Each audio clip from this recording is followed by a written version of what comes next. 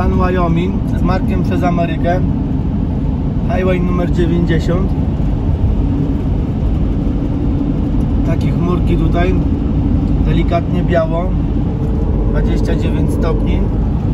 Które temperaturka się powiększyła już. To ładnie wszystko wygląda. Droga przejezdna już się zrobiła. Znowu 75 jechać. O, domek w górach. Wiadomo, McDonald's musi być. Nieważne, że 40 lat później, ale jest. A jest boku. Nie wiem, czy to dobrze widać, ale tu wszędzie się góry ładnie ciągną.